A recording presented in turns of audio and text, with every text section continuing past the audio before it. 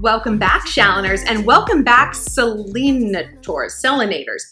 Selena Gomez fans, you guys got to come up with a better fandom name. How about No Go Gomezers? Because today, guys, I'm sorry, we're going to break it down about your little idol and why she's basically nothing more than a vital organ con man. And not just spill the tea on Selena and what's going on with her friendship with Francia Raisa, but how we can spot users in our life repel them, and only keep good people around. But first, just want to remind you guys that if you want to chit chat with me privately and talk one on one about an issue you might be having in your life, find me on the Instant Go app. My username is ShallonXO and click chat to get connected right away. Also, follow me on Instagram at ShallonXO where I let you guys weigh in on the next video topics and connect that way. And listen to my podcast, Girl on Top, out every week, every place podcasts are found. So, Selena and Francia Raisa. And I have to pronounce her name that way because I literally don't know how else to say it because I had to Google to see how she pronounces it. And every time she says her own name, she says it like Francia Raisa. So in my like white suburban girl English, it's Francia Raisa. Is that right? I don't know. So I'm just going to say it the Francia way because it's like, it's so spicy and I feel like I burn calories when I let my tongue roll like that. I'm burning off the chicken wings I had for lunch burning it with Francia's name. But Francia, I don't want you to burn too much energy yourself because you're operating on only one kidney. And that sucks. It doesn't suck that Francia was selfless enough to give her kidney to someone who deserved it, except for the fact that Selena very likely did not. I talked about Selena before, and holy shit, did the Selena stans show up like I'm afraid of them. Oh no, not an emoji. God, get a life. And I always say, like, the irony of when like celebrity stans like mm, like come after me. It's like I am exactly the kind of person who you could actually benefit from. Like my advice is precisely what you need above everyone else. Because my whole thing that I say is like, we don't need to live our lives for anyone else. Not a boy, not what our parents say, not what your friends say. Certainly not to please a celebrity who literally doesn't know if you exist or if you live or die. But since we're talking about life and death issues, back to Francia and Selena. So here's what we know about Selena because I've told you, and because if you're new to the channel, you might not know, I was a celebrity journalist. I ran a celebrity magazine for a really long time. So when I say like I know stuff, like I know the things that we didn't even get to print. But now that I'm out, I can spill the tea. So Selena lost a kidney in 2017. Francia gave her her kidney. So selfless. And because Selena has lupus, and ostensibly that's why she lost her kidney. When you have an autoimmune disease and you lose a vital organ, a lot of times it's because you're a drug addict. Because let's break this down. Selena, again, ostensibly has access to the absolute best medical care Western, Eastern, new things, old ways, herbs, spices, 11 herbs in season, all of that. She also has access to nutritionists, dietitians, physical trainers, massage therapists, acupuncturists. She should be healthy as fuck given her diagnosis. Like she, her whole life should orient around it. And look, I know it's not fair that she should have to. I know that. One of my friends has an autoimmune disease and she, I mean, her whole life is structured around it. She's vegan, she doesn't drink. Like she looks incredible, by the way. Like she's just like not even aging, which goes to show how aging those kinds of things are. You know, she lives so pure and she looks she looks like Snow White. But like, that's how you have to act if you want to keep all of your organs. Selena doesn't really subscribe to this. Selena has been in and out of rehab, not for depression or anxiety, or bizarrely, she's like, I'm in rehab for lupus. I don't, that's not really, okay. She's in rehab because she's an alcoholic and a, right? But she is. And but you know what? Let's say that she's not. Let's say that she was just a good Christian bitch up until this, and God dealt her a bad hand, and her lupus, in the light of an incredibly healthy and flawless, totally non toxic life, she lost a kidney, and her friend decided to give her one. Months later, just months later, she was spotted at a hotel in New York City, and I know because I broke this story. This is my story, so I know about it. She was spotted drinking do you know what the kidneys do? Do you know what kidneys do? They process impurities in your body. What do you think alcohol is considered? by your body? Do you think it's considered like, ooh, like kale, like basically just like kale and water? Or do you think it's literally poison? It's literally poison to your body. So, are you going to take in something that has to go through the poison center that you just had put in your body? She's probably still on like anti rejection medicine, the very least, probably antibiotics, you know, or like just, and she's out drinking. And here's what she had to say about it. Oh, she had something to say. Oh, was it the Four Seasons? Yeah. So she said this to Elle Magazine. As far as my personal life, someone sees me having a glass of wine, I could give two shits. I'm not trying to hide. That's my life. What a slap in the face to her best friend. It's a lot harder, I've heard, to donate a kidney than to receive one. Like, the, I mean, the incision is huge, the recovery time is different, and you're down a vital organ. You are in the prime of your life. You're a young woman of childbearing years. You know, we don't know what causes infertility. We don't know what causes cancer. We don't know what kind of domino effect things like this have. But we can't tell ourselves that they don't have any. You know, I would give a kidney to save my mother's life, ch- my child's life. I don't have a child, but my dog's life if I could. And so great for Francia for being so selfless, but wow, she got conned. She got conned. There's no other way to look at it. If I read that quote from the person I gave a, a, an organ to, oh my God. And now, the whole reason we're talking about this now is because the two women are no longer speaking. So let's just let's just go back to this. Francia is Selena's BFF or best friend enough to give her an organ. Probably she got paid for it, but like I don't know, man. I can't put a price tag on my health. Like if you've ever been sick, like really sick, your whole world stops. There is there is nothing else but that. Nothing exists. There are no good days, there's no normal bad days. There are just health issues. And like I was really sick at one point and it's like I will never stop being grateful for my health. I will never trade it for anything. I will never put a price on it, you know? But obviously, you know, Francia felt differently or felt confidently that either her sacrifice is going to be appreciated or she is healthy enough to carry for the rest of her life. And God, I hope that she is, you know? I mean, she doesn't deserve anything bad to happen to her. But imagine not only reading that quote, and knowing that Celine has been drinking, like you, you see someone drink once, that's probably not the only time they were drinking. If it was, Selena probably would have said that. You know, it was my friend's birthday. We cheers with a glass. I had one glass of wine.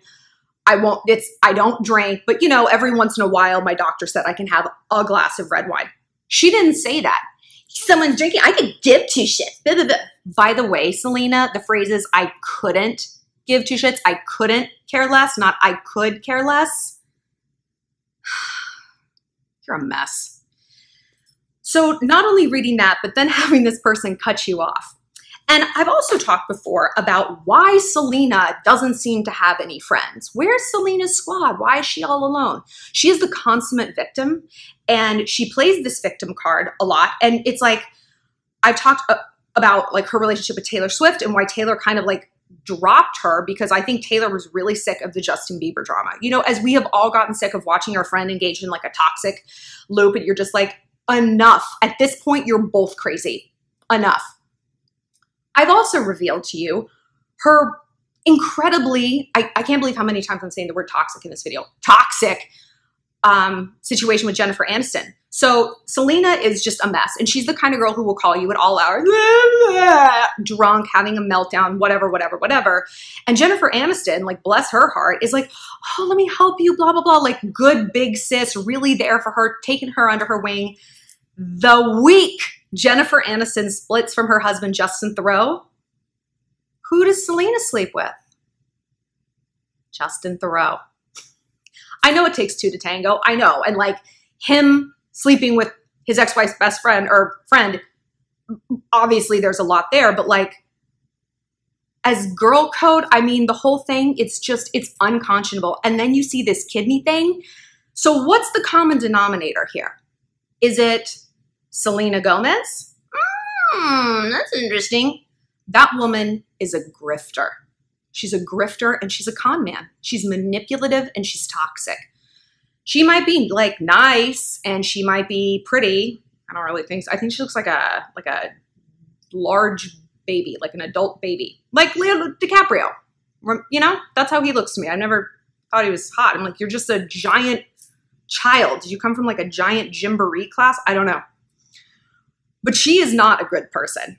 And if you stand by this person to this obsessive degree, like ask yourself why. What do you, what does she represent to you? But you know what? I really don't. I could give a shit. If you're gonna come here and be mean to me, I I could see. Oh wait, did I say it? I could give a shit. Look at what you've done to me, Selena. You've influenced even my grammar. Shameful. I couldn't give a shit. I want to talk about what we can learn from this kind of toxicity, what we can learn from this dynamic. Because probably you haven't given a kidney to some bad friend, but you probably have done other things that in the back of your mind, as you were doing them, you're like, Uh, this feels outside my comfort zone. This feels beyond my boundaries. This feels like I'm being used. And we all get used. No matter how smart you are, no matter how loving you are, which ironically can work a lot against you, we end up getting entangled with people who are grifters also. You know, they're emotional con men. They might not be like out to drain your bank account and out to snatch one of your vital organs. Give me all them spleens. But they're going to take something from you until there's nothing more to take and then they're going to move on. So, how do we spot a user, right? Well, the number one way you spot a user is you smoke them out. And I've said before that, like, I've done videos about boundaries and how I like to put up boundaries and I become addicted to it because then it routes out the bad people in my life, these secret Selena grifter types. Because if I say, you know what, no, I don't feel comfortable doing this one thing. I don't, we're not all gonna wear matching outfits. I'm not gonna go out and buy a whole new matching outfit for Kristen's birthday because that's what she wants. It's expensive. I think it's weird. I just don't wanna do it. And if that girl turns and is like, well, fuck you then. It's like, thank you. Honestly, thank you. Thank you for revealing who you are. So now I know. Now I can walk in the light of the truth about who it is I'm dealing with. And now I don't have to feel guilty because now I know you're not a real friend. You're a fake. You're a user. You want me insofar as what I can do for you. You want me because I'm a possession, I'm a means to an end, and I am here for your use, your amusement, your needs, and none of my own. Thank you for showing me that. So put up some boundaries in your life. You know, I think it would have been really interesting had Francia said like, no, you know, I can't give you, I can't give you a kidney. You know, what if one day my mom needs one? What if my own sister, I don't know if she has sisters, but what if my sister needs one? What if my child would need one? You know, life is really, really long. She's only like 30. She's going to live three times as long. Well, hopefully she's down a vital organ. I mean, I don't know. But like, if she had said that, I wonder what Selena's reaction would have been. And I wonder how many other people did say that. You know, I wonder how many people Selena went to was like, I need a kidney. And I wonder if they were like, you know, girl, you know what I watched you do for the last few years? I haven't watched you like go on a meditation retreat in Nepal. I've watched you do things to undermine your health, and actions have consequences. You're not getting my kidney. You don't get to blow through yours knowing what was at stake and then be like, all right, who's got a spare? you all have two. I only have, I need one. No. And I wonder what Selena's reaction was because I think she lives kind of a lonely life. You know, I feel like a lot of people have pushed her away. Demi Lovato, I remember posted some meme. It's like swimming away from your bullshit, girl. You know when Demi Lovato, the queen of the mess, is done with you. When Taylor Swift doesn't want you around, I mean, now she's like, we're back together. Taylor, it's because you have no other friends and you now need a squad. And you guys kind of both, from a PR standpoint, need each other. And it's like, we're girl squad. Nobody cares anymore. Okay. That was so 2016. Nobody cares. I don't care about your squad. I wonder what Selena's reaction was oh, maybe you shouldn't have boned Jennifer Aniston's husband. She's got some kidneys that are like showroom new. That girl has lived a very pure life, lots of yoga and juicing. Kind of shot yourself in the foot on that one, or actually, mm, maybe you're right about here. So, putting up those boundaries is going to suss people out. If you have a friend who you think it's like, and it's like we might not even conceptualize like we're being used, we're being used, like, because very rarely are people that like pointed. But sometimes they are. If you put up a boundary, like I have this friend and she only texts me when she wants boy advice. And like, yes, of course, that's what girls do for each other. But like, it's to the point where I'm like, I can't talk to you now. My grandmother is dying. She's like, oh my God, yes, of course, yes. It's just that why won't he text me back? And I'm like, really? Really? And like that just put it into such sharp focus. And it was, it, it, I was almost, I was again lucky that that happened because it was something that I had been feeling for so long and feeling guilty that I felt this, feeling guilty that what I feel like I'm being used. What's wrong with me? Am I just so uncaring that I just can't have a friend who needs anything? What does it have to be all about me? No. And had I put up a boundary sooner, I would have seen that. I would have seen, because when you put up a boundary, you see people balk or they rage. How dare you? You're so fucking selfish. What do you mean you won't drive me home from work 20 miles every day? Or they just blow right through them. They're like, uh huh, yeah. Anyway, back to me. And that's a really significant data point because people, if you ask someone, like, hey, are you using me for rides to work? They'd be like, no, no. And then they're going to turn it around and try to shame you. Why would you think that? Really? You literally think that about me? Wow. Wow. Yeah, wow. Look at look at you gaslighting me. And that is a data point. Because you can't like I said, you you're going to ask someone and of course they're going to say no, but then you have to watch what they do. Are they angry? Does the behavior continue? Do they guilt you? Do they twist around so you're a bad person? That's a sign that somebody is using you. Because if someone isn't, they will be genuinely horrified, not at you, but at themselves. Be like, oh my God. I remember once, like, someone said something like that to me. Like, I feel like you only text me when, like, you want to come to one of my shows. And I was like, I am so sorry. I was like, I'm like, literally, I try not to text you a lot because I just feel like you're busy, you know? And I'm like, that's, that's no excuse. Like that, you're right. I should not you're right, you know, and I have been, I'm sorry, I have to like put my hair up. I'm overheating under these lights. gonna cook. Oh yeah.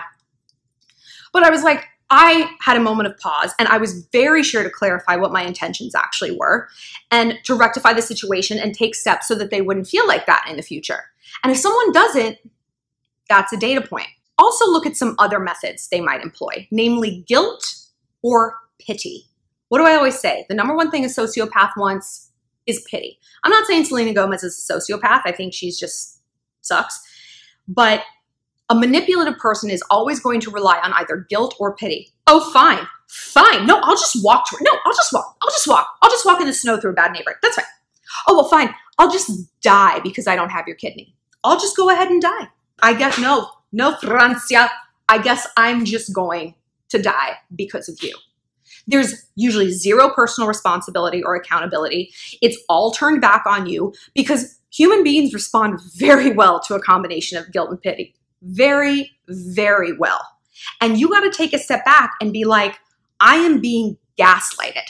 I am being this there is like an emotional holocaust happening right now against me and I need to take steps to repel this person. Because like I said, if someone truly does love you, like if I needed a kidney from someone and I asked and they said no, I'd be like, okay, I I understand. Of course, it's a huge ask. I understand. You know, and if someone did give me that, you know what? I just I wouldn't be drinking, and if I was, I would have the decency to hide it. You have a huge mansion, Selena, probably a few of them. You can't do it behind closed doors like a normal person, like a normal alcoholic. Drink at home like the rest of us. Pop open the bottles of Kim Crawford and get a straw. I don't care. But if you're caught in public, have the decency to lie because you apparently lie to everyone else about everything else. And now when you're like, this is me, I drink, it's at literally the worst possible time. I just, and poor Francia, you can't get that kidney back. It, there's no take takes backs, takey backsies. No, it's not like a Groupon and you know there's a a window of opportunity. There's just not. So be careful what you give to people because, you know, look, sometimes we think that our gestures and overextending ourselves is going to get give us like this ticker tape parade in return. And I think this is something really important to talk about is like if we're giving too much for, of ourselves, no amount of thank you is ever going to be enough because we will be so deficient. We will just need so much to fill it up. And we have to take care of ourselves. And I saw a tweet the other day that said, if taking care of yourself means letting someone down, let someone down. Let someone the fuck down because you might only have to deal with their disappointment realistically like five minutes a month. I mean, sit down and be like, how often really am I going to have to hear about how I let them down for my own well being? Probably, honestly, not a lot, but you're to have to live inside yourself 24 hours a day. And I tell you, and you know this, there is nothing more agonizing than being mad at yourself and full of regret, especially when you only have one kidney left. I want to hear your guys' story of getting entangled with a user or a con man and how you got out of it and what you learned, and also your thoughts on Selena. And if you're a Selena stan, just do better. I just, I don't even know what to say anymore. Just pick a different idol. Would you like me to suggest one? Kate Middleton. She's great. Try it. Start there.